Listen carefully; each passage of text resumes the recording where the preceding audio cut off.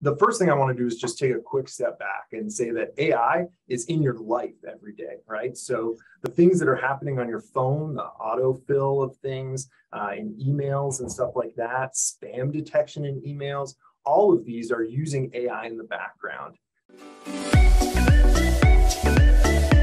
Large companies that are selling things online that say things like customers who bought this also bought blank that's also AI. So AI is operating in the background in a, ton of different areas and really impacting our lives every day.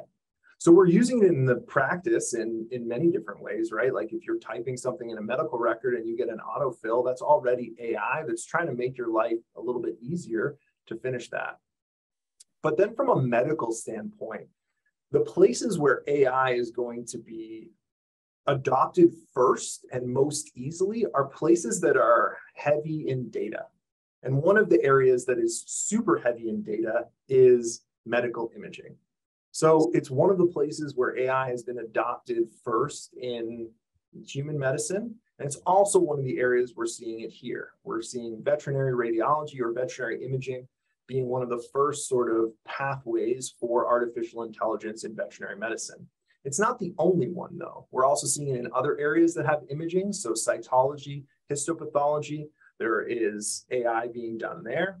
And then we can also see it through just general medical records. So there are AI systems, including natural language processing. So systems which can take the written word and extract their meaning from it, which are able to help, you know, identify and analyze medical records as well or even things like blood work, where we have values and data there that we can start to use AI to do different tasks that we want it to do, whether it's prediction, classification, um, and other kinds of, of activities. So Good. those are the main places that we're seeing AI right now in vet med.